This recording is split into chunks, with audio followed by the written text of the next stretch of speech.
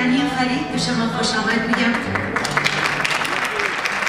امیدوارم اصل خوبی رو با ما شروع کنید همطور که خیلیاتون می‌دونید چهار پنج سالی است که قصه ایرانیان مهاجر رو به بهانه تز تحقیقاتی فوق لیسانس به روی صحنه ببرم و ویدا قهرمانی عزیز از همون اول یکی از مشابقین من در این کار بود و من سخت مشتاق بودم که در یکی از این داستانگویی ها داستان ویدای عزیز رو به صحنه ببرم. بخت یاری کرد فرصت گفتگو با ویدا قهرمانی شد. براتون میگم ویدا چی گفت.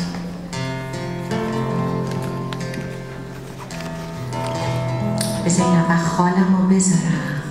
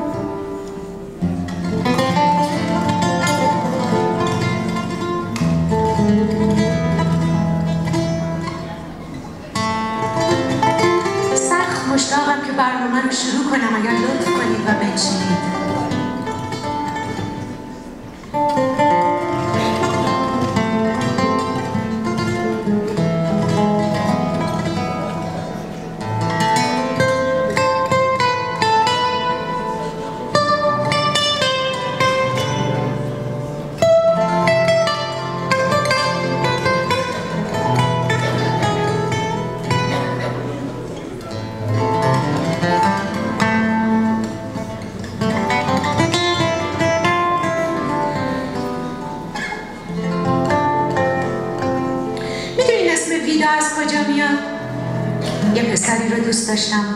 اسمش داوید بود. حالا همتون تو دو بگید داوید داوید داوید داوید داوید داوید. داوید اسم من از اونجا. شاید خیلیاتون ندونید این زیبا شیرازی هم نمی‌دونست. کوچینی مال منو داوید بود. مطمئنم خیلیاتون اونجا جوونی کردیم من و داوید خیلی دوست داشتیم یه جایی رو درست کنیم واسه جوونا. زیر زمین یه ساختمون رو گرفتیم. خودمون شروع کردیم به دکور کردنش. من رو گونیا نقاشی می‌کردم و می‌زدم به در دیوار. فرشید مسقالی رو سه تا پنجره شیشه نقاشی کرد. پشتشون نور انداختیم. خیلی جالب شد. چند تا جوان اونجا موزیک می‌زدن. یکیشون شهبال شبپره بود. پشت صحنه که گروهشون می‌زد چند تا پنجره کوچیک بود که ازش نور میمد من رو هر کدوم یه گربه سیاه کشیدم با شکلهای مختلف. اسم گروهشون رو گذاشتن بلکتس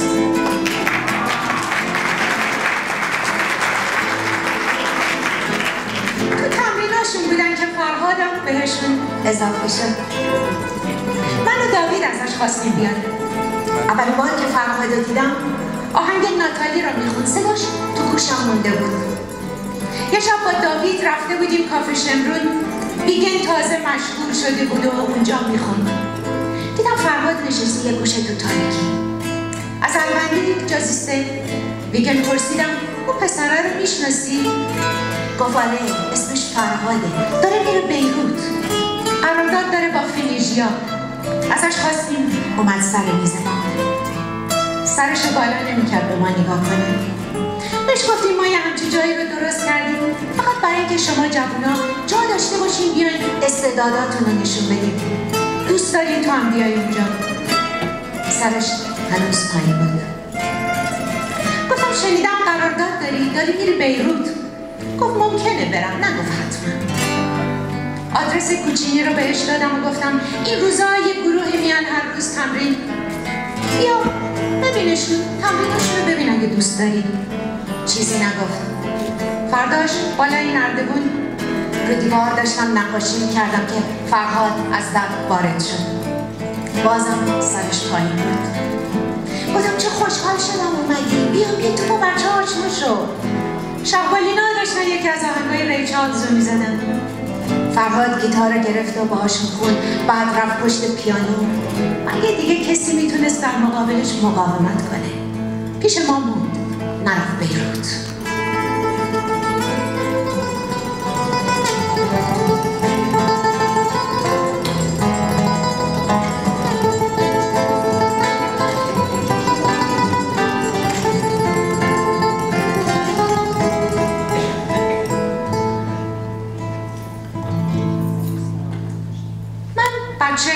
خانوادم و تنها دختر دو تا برادر کوچیکتر از خودم دارم. از بچگی همش تو رقص و آواز یعنی 24 ساعت صدا و مینداختم تو سرم آواز میخوندم. اونقدر که همه می‌گفتم بسته دیگه خفه شدی. آرزون بود برم ویالون یاد بگیرم و اپرا بخونم. حالا میگم اپرا واسه اینکه پدرم از اروپا یک گرامافون آورده بود با چندین صفحه سیاه سه‌دار از آرتیست های اون زمان سالهای 1920 1921 مقداری از زیادی از این صفحه ها آهنگ های شاد ایتالیایی بهش می‌گفتن ناپولی. من بدون اینکه بفهمم اینا چی میگن همه رو حفظ شده بودم و دائم میخوندم. خیال می‌کردم اینا اپراست. همه می‌گفتن این صداها چی این از خودش در سب کنیم بخواد اینو می‌خونم درا درا درا درا درا درا درا درا گوری گوری گوری گورا گوری گوری گوری گورا. پدرم تحصیل کرده اروپا بود. خیلی روشن بود افسر ارتش بود. تو سلطنت آباد کارخونه تسلیحات ارتش کار می‌کرد. تو باغ سلطنت آباد زندگی می‌کردیم. مدرسه اونجا نبود. مامانم تو خونه بهم درس می‌داد. شیش سالم که بود من آوردن تهران. امیریه پیش مادر بزرگم که من بتونم برم مدرسه. دیدم من خوندن نوشتن بلدم. ازم امتحان گرفتن. منو گذاشتن کلاس سوم. تا کلاس شیشم پیش مادر بزرگم بودم. تابستونم می‌رفتم سلطنت آباد پیش پدر مادر. یعنی میری جون تو خیال کن. سلطنت آباد اروپا تهران. باشگاه در سلطنت آباد هر شب برنامه رقص بود موزیک بود. تهران خیابون امیریه دست سینه زنی میومد خلاصه من تو جهان بسیار متفاوتی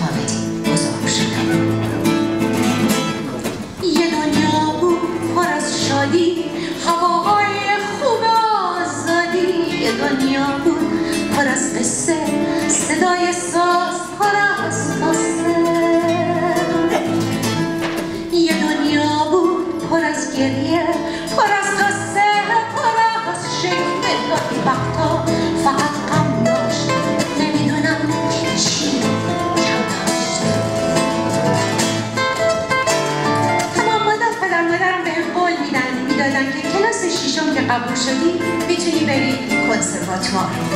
یاد بگیری ویالون بزنی و اپرا بخوانی کلاس شیشم شدم شاید اول نامیه مگه دیگه خواب داشت تا بیدار بودم که آواز میخوندم و میرقصیدم و در دیوار ضرب می‌گرفتم. بعدم که از خستگی بیهوش می‌شدم خواب می‌دیدم که تو خواب دارم بالا یادمه روزی که با مادرم رفتیم کنسرواتوار. آقای خادم میسا نشست پشت پیانو.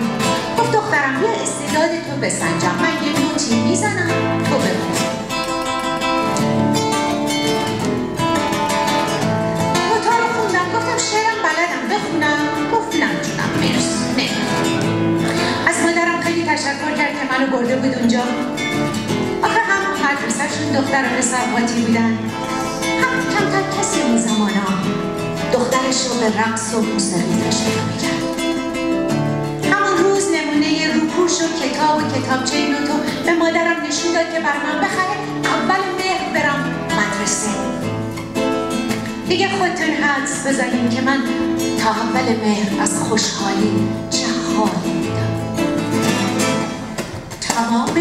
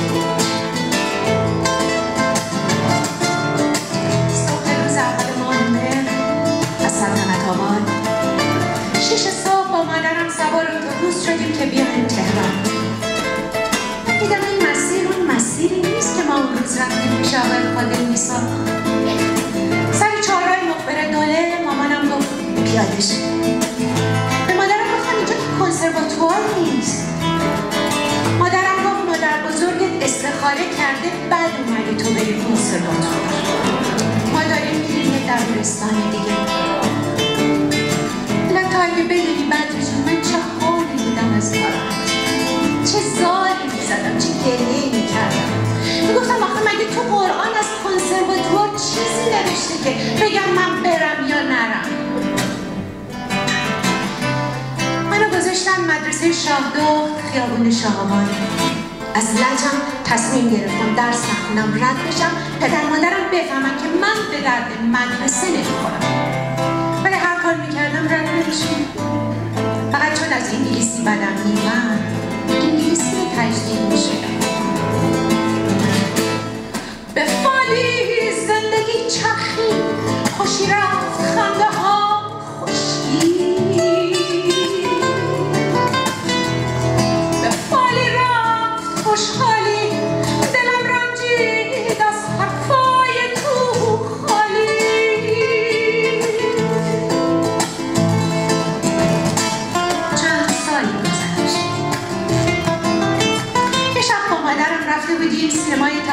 دیانا زیر سقف آسمون یه فیلم فارسی نشون می‌دادم به اسم دختری از شیراز. فرح عافیت پور توش بازی می‌کرد. تو همون کنسرواتواری که من آرزو داشتم برم درس بود دعوتش می‌کردم می‌رفت بلژیک آلمان که اپرا بخونه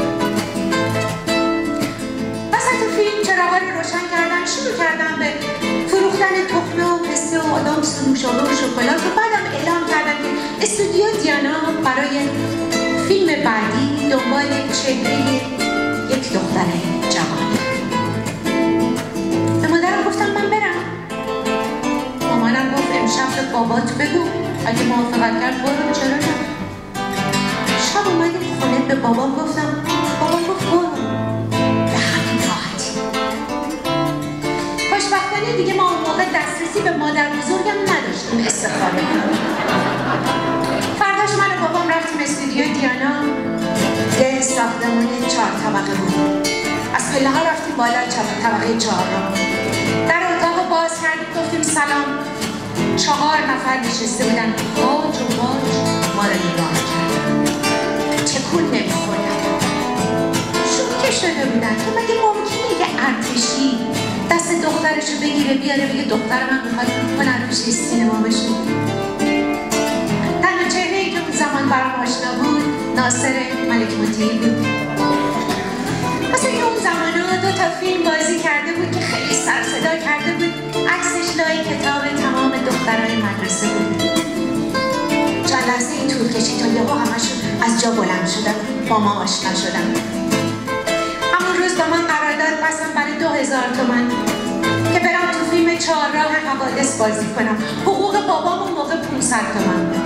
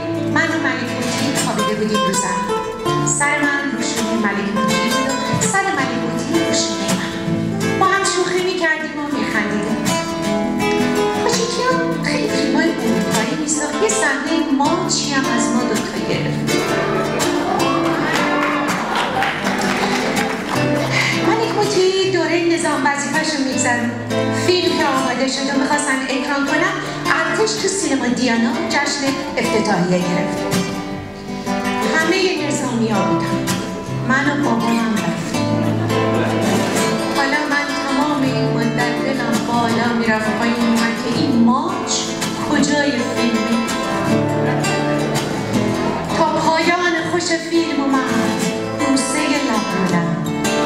در واقع صحنه آخر بوسه ما فریز شده بود پایان میومد یه پنج دقیقه مونده بود ملت مگه تکون میخوردن از جاشون؟ زل زد. وحشت برم داشت زیر چشی بابامو نگاه کردم. با دلهوره دیدم با یه حالت ستایشی به من نگاه کرد. با افتخار گفت صد و شکستی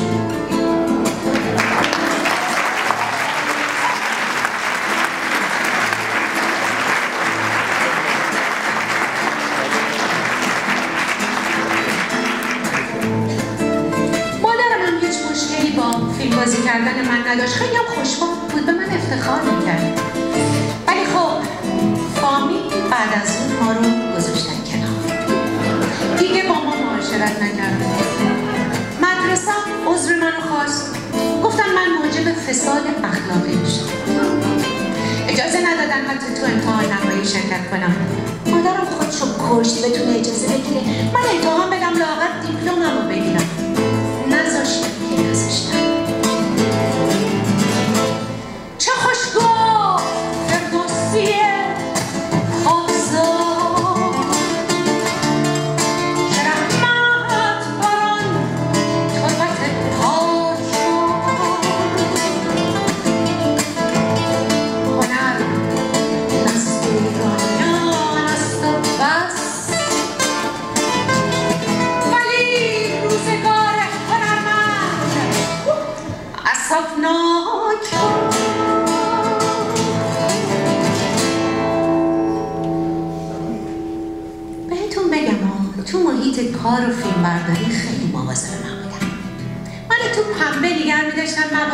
کسی به من چیزی بگه؟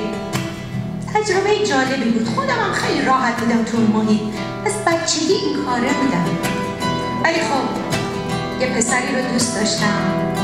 همون داوید رو اون دوست نداشت من فیلم بازی کنم. با اینکه ارمنی بود و ارامنه خیلی روشن فکرتر از مسلمان بودن. ولی خیلی مخالف بود و قد خودکشی کرد بردنش بیمارستان. می‌گفت یا من یا فیلم. گفتم گروه بابای فیلم من تو رو دوست دارم.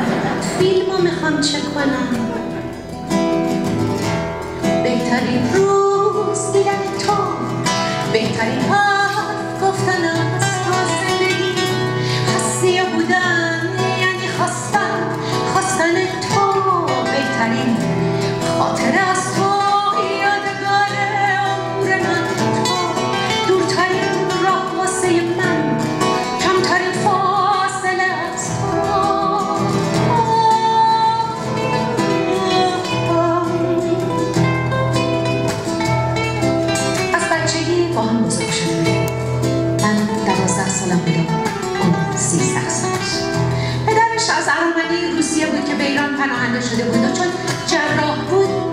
رضا شاه بهش درجه سرهنگی داده بود که تو ارتش بمونه.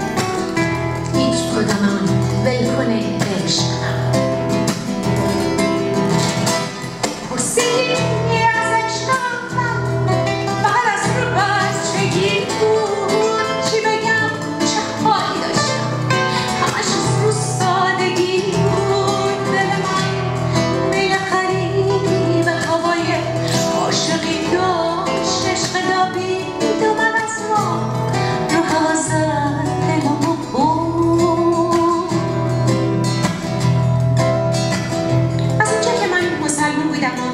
داوید مسیحی خانواده هر دومون مخالف این ازدواج بودن. به خصوص پدر داوید که رهبر داشتانهای ارامنه بود و با بلشویک ها جنگیده بود و براش خیلی بد بود که پسرش با یه دختر مسلمان ازدواج کنه.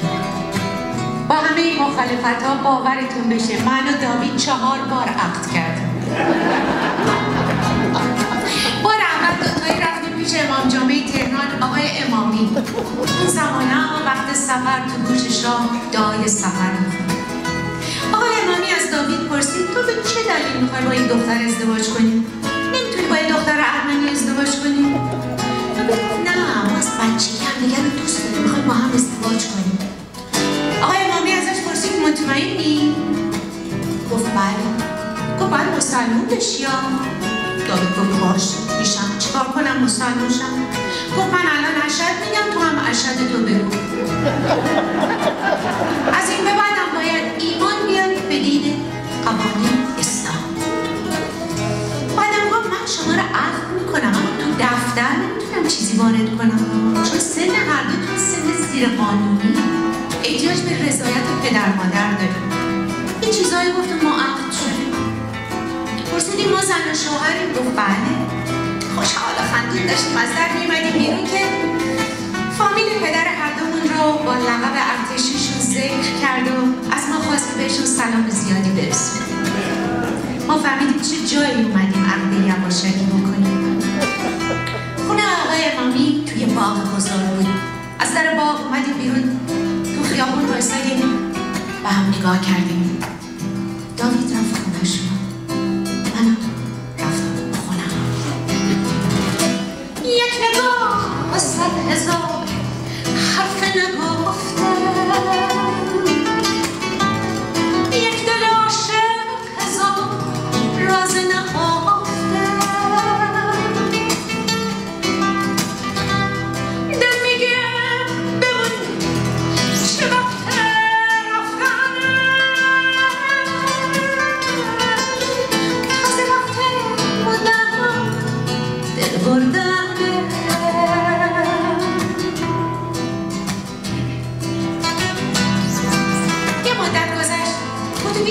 و شوهریه با داوید پا شدیم رفتیم پیش یکی از دخترهای فامیل که چهار پنج سالی از من بزرگتر بود و تازه ازدواج کرده بود. پرسیدیم ما چیکار کنیم؟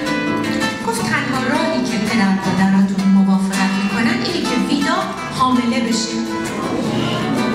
پرسیدیم من چجوری حامله بشم؟ گفت به شوهرم هوشنگ میگم با داوید صحبت کنه بهش یاد بده. یه کاری بکنه تا حامله بشه به قولش هم عمل کرد. هوشنگ به داوید یاد داد که چجوری یه کاری بکنه من حامله شم تا مدت ها باورم نمی‌شد که داوید حاضر شده یه همچه حرکتی با من بکنه. وحشتناک بود وحشتناک. به خصوصی که این زمان اسم این کار عشق بازی نبود تجاوز بود. اونم واسه یه دختر احمقی مثل من که اصلا نمی‌دونستم این چیزا چیه. ما دیگه خودمون رو میکشتیم یواشکی وقتی کسی نبودم دیگر رو بغل می‌کردیم میبوسیدیم. حالا یه یه همچی حرکتی دلم لرزید کمی ترسید کمی در عاشقی شک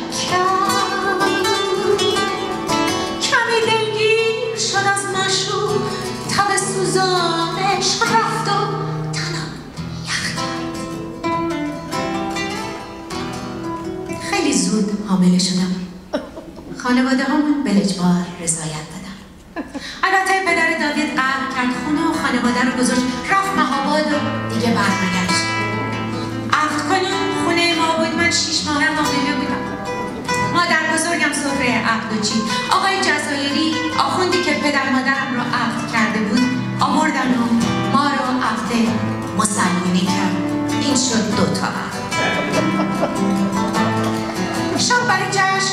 خونه داویدینا یک کشیش اومد اونجا ما رو عقد مسیحی کرد. این شد سه تا عقد کاش عکس عروسی بود می‌دیدیم. با اینکه شیش ماه حامله بودن کمرم هنوز انقدر باریک برادر کوچیکم به بابام گفته بود کم کم باید واسه بیدا فکر سیزمونی و بد... سیزمونی بچه و تخت و کالسکه باشیم. بابا تو وای تازه ازدواج کرد حالا چه موقع سیزمونی سه ماه بعد من صاحب یه پسر شدم. خبر به چه پدر شوهرم رسید. یه روز تو خونه با بچه تنها بودم. در زدن. بچه به بغل رفتم در رو باز کردم. پدر شوهرم بود.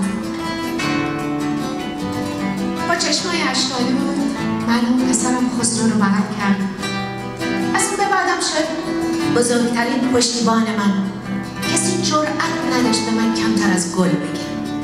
عاشقانه این نوه رو دوست داشت و به قلبش میچسبود و بهش می‌گفت تو وقتی بزرگ شدی باید ارمنستان رو نجات بدی. اسم شهر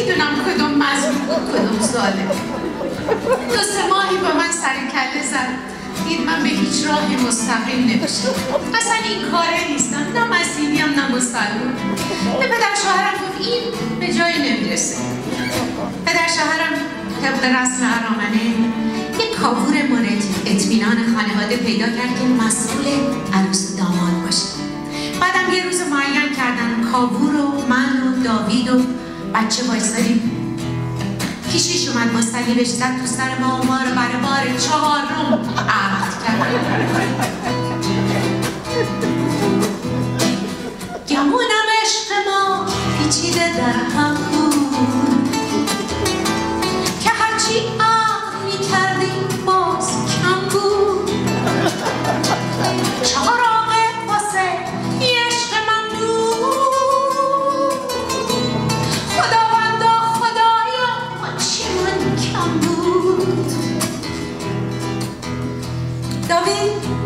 دانشگاه نظام فارغ التحصیل شد.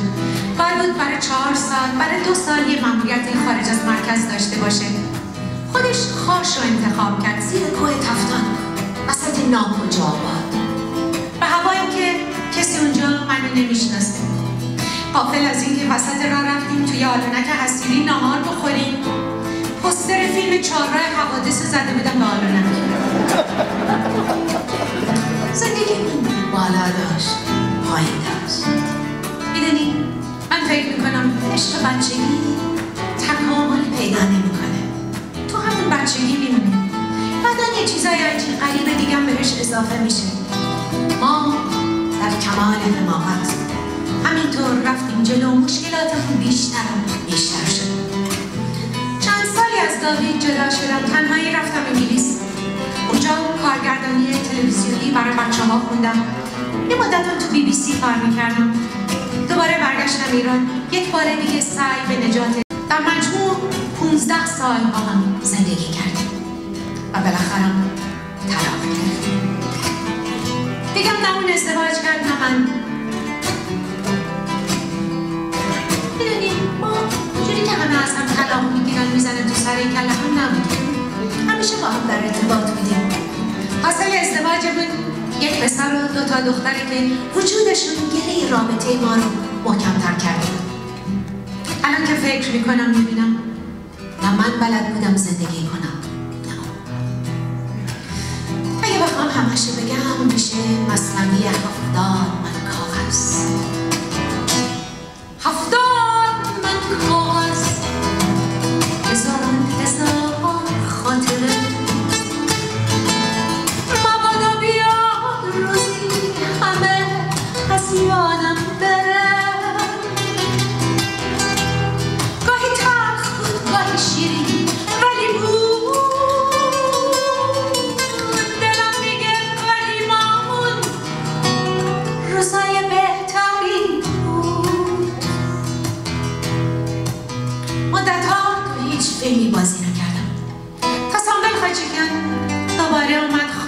التماس که یه فیلم دیگه دارم. به اسم توفان شب بیا توش بازی کن. خودم اصلا با من حرفشو نزنی. من حوصله داد و بیداد و دعوا ندارم. اونقدر با داوید حرف زد تا اون رضایت داد. منم که عاشق کار هنری. از خدا خواسته برگشتم.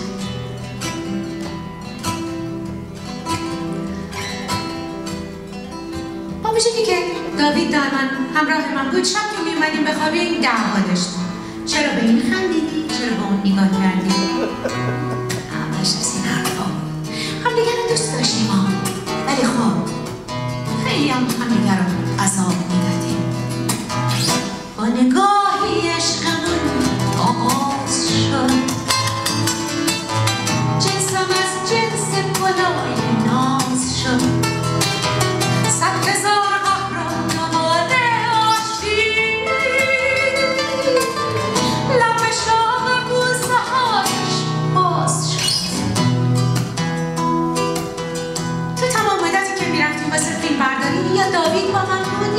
برادرم با سوپرستارای سینمای ایران بازی کردم.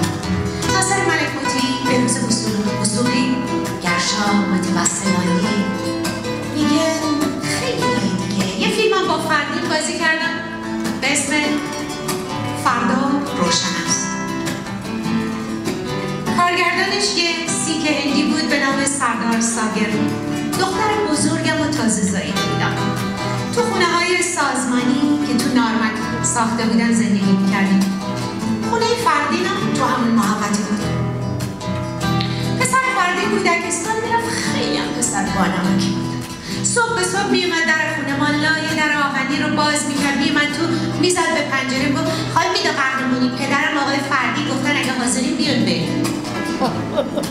من دخترم رو میذاشتم تو سبر با تمام وسایل و شیر و کنه و تا جنوب واقع دایپر نبودی که همین رو میبردم راه میافتید ساعت هشت صبح می‌رسیدیم به استودیو استودیو تو زیر زمین یه ساختمون سر پیچ شمرون زیر بستگی فروشی گل بلبل بود تو استودیو اتاق یه خونه رو ساخته بودن یه گوشش دیوار بود یه تلویزیون بود. یه جاش رادیو بود. میز بود صندلی بود. یه تابلو به دیوار بود. نور باید طوری تنظیم می‌شد که ما بتونیم تو این نور حرکت کنیم. خانمی که شما باشید از هشت صبح. که این بچه رو میذاشتیم کودکستان میومدیم استودیو. خودمون خودمون آرایش می‌کردیم و کارامون رو می‌کردیم. و لباس میپوشیدیم و منتظر میشستیم. تا هشت شب نبی جون. کلید زده نمی‌شد.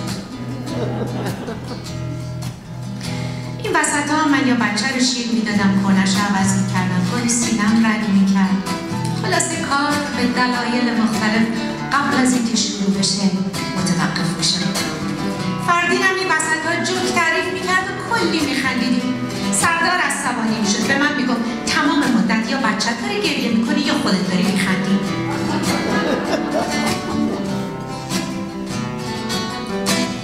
همیشه یه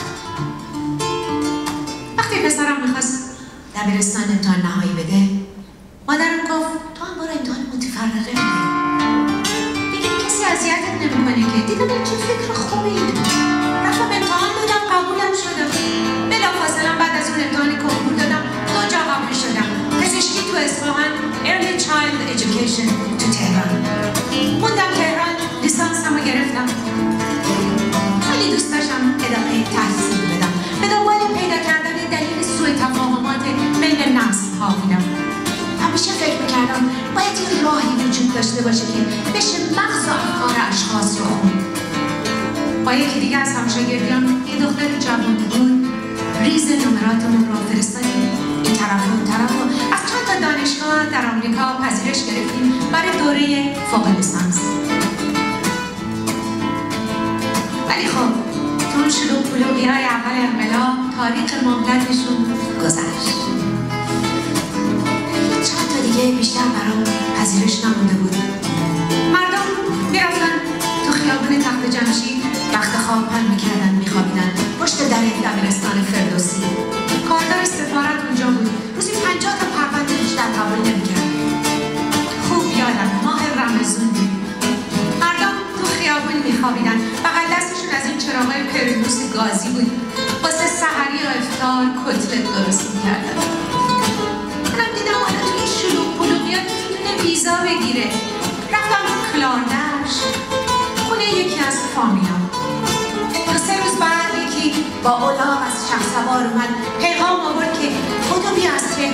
رو کار داره. فردا صبح با ماشین صابونه رفتیم تلفن خونه دوستم بود از تهران. من و دختر گفت من و دختر فلان. نفر سوم تو صف بودیم. نوبتمون که شد پرونده تورم هم دادیم تو. بودو بیا واسه مصاحبه. بلافاصله برگشتم تهران. یه پذیرش داشتم از دانشگاه نورمن اوکلاهوما که هنوز تاریخش نگذشته بود. بردم نشون دادم به هم ویزای چهار ساله دادم یعنی به همه ساله.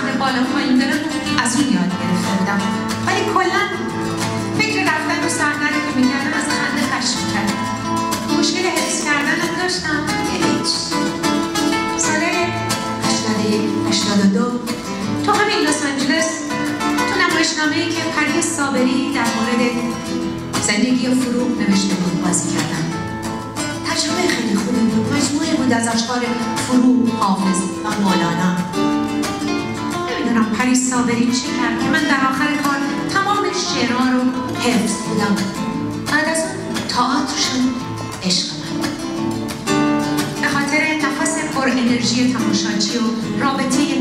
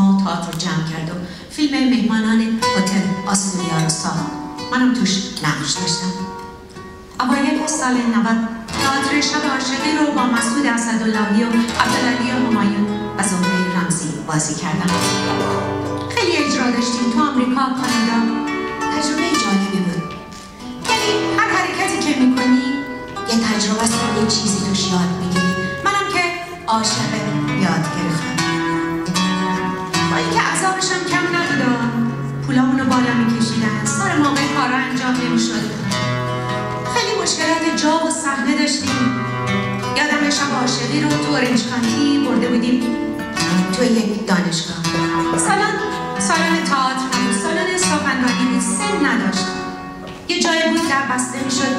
در رو کشیده بودن کنار. ما یه ذره جا داشتیم که پشت این درا بایستیم تا صحنه بعدی بیاد و دوباره بریم رو صحنه.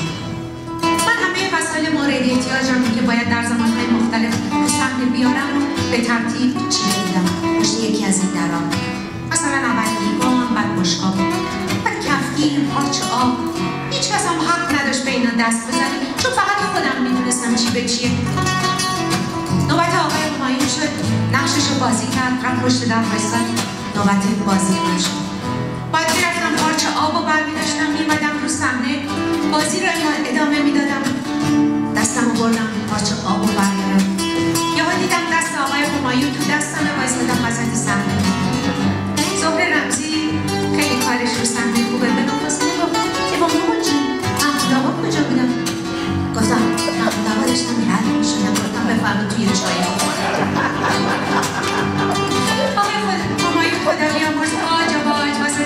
وایستاده بود.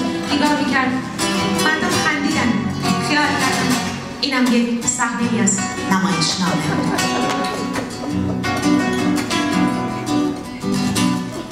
همه چی رو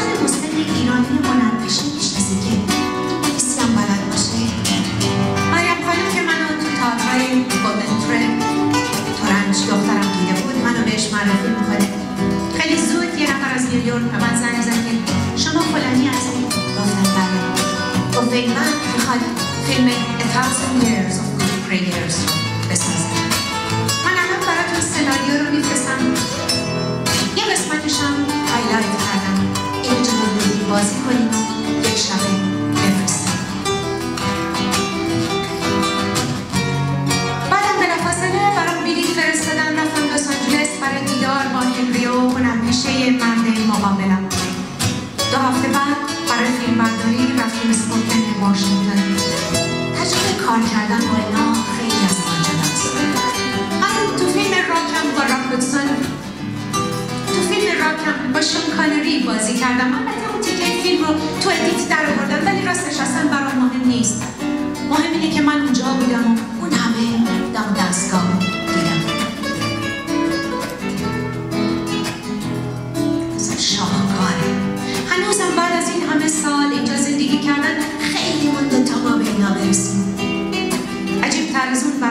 که کارگردان جوان فیلم یه شلوار جین پاره پاش بود. راه می‌رفت به شانکانری اسطوره سینما می‌گفت چیکار کنه؟ همین تازگی ها با ماز جبرانی هم یه فیلم بازی کردم. اونم تجربه جالبی بود. گروه اونم همه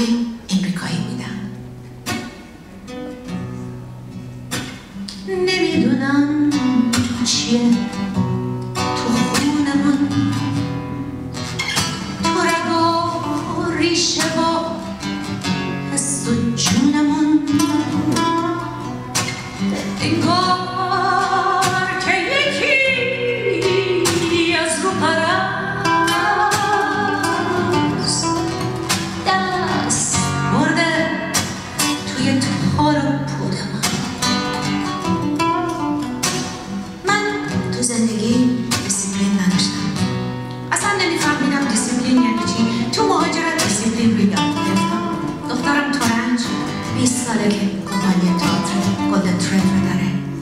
آخرین کار تئاتریم رو با اون انجام دادم. اسفان بلوز دو سال روش کار کردیم. در مورد سفر دو کلینتون به خاور میانه است. کار کردن که به دخترم خیلی لذت بخشه. ازش خیلی چیزا یاد گرفتم. هیچ وقت نمیگه فلان چیزا به من بده. میگه می‌خوای فلان چیزو بدی به من؟ هیچ وقت امری صبح دختر دیگه هم نقاشه. دانشگاه تدریس می‌کنه. پسرم هنر رو کامپیوتر رو مخلوط کرده و کارهای هنری می‌کنه. زمین اینکه کار خودشم داره. تو این سالها یه سری کارتهای تبریک درست کردم. خودم نقاشی نقاشیاش کشیدم از شما چه بلون بلد نقیم باشون بیزنس کنم. رو دستم مونده. امشب به اصرار این زیباش دیرازی آوردم اینجا. اگه خواستم بیا قرار شده خود چند باید اینا رو بفروشم. این کتابی که امشب رو نمایشه با اینجاست سالها پیش یک کتاب دیگم نوشتم. 20 25 تا داستان کوتاه از زمان بچگیام. داستان آخرشان داستان عشق منم داویده خیلی زود همه نسخهاش فروش رفت و نایاب شد. شما دنبالش نگردید.